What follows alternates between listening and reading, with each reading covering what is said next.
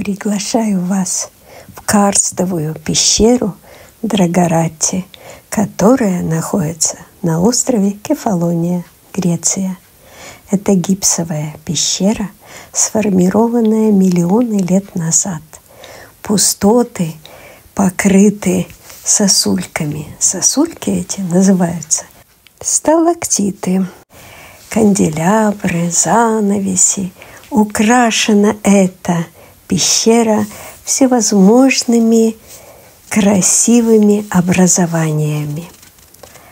Прогуляться можно, но обязательно захватить с собой легкую одежду сверху, потому как прохладненько там летом, а гулять по ней хочется долго, потому что восхищаешься красотой земной, не земной, а подземной.